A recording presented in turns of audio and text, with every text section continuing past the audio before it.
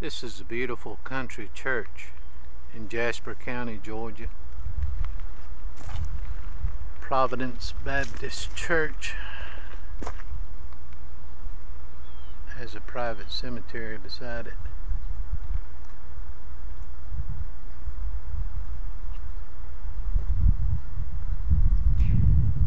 Really neat design to it. Has a road marker out. Let's see what it has to say about the church. Providence Baptist Church. This church was constituted December the 15th, 1810.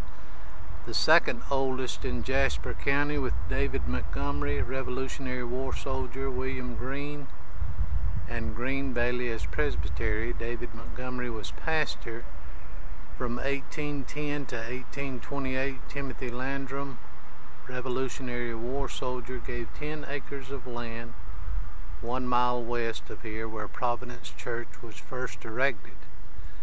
It moved to this site March 12, 1832 to be on the stagecoach route through Shadydale.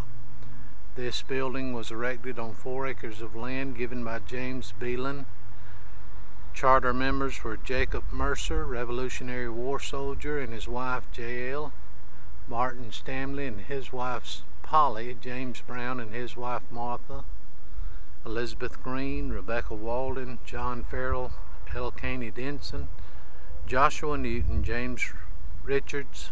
First deacons were Martin Stanley and James Brown. First clerk was James Richards. Early pastors were James Henderson, James Wilkerson, John Bogan, James Green, James Carter, W.G. Horsley, Asa Marshall, great grandson of Daniel Marshall, founder of Kiokee Church in Columbia County, the first Baptist church in Georgia. So, some rich history here on the uh, roadside marker about the church just recently paved the parking lot.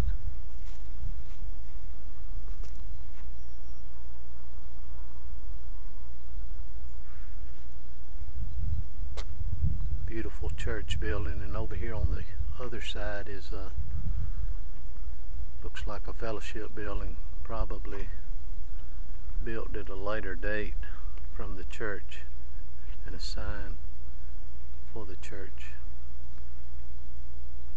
signifying it was established in 1810 Providence Baptist Church.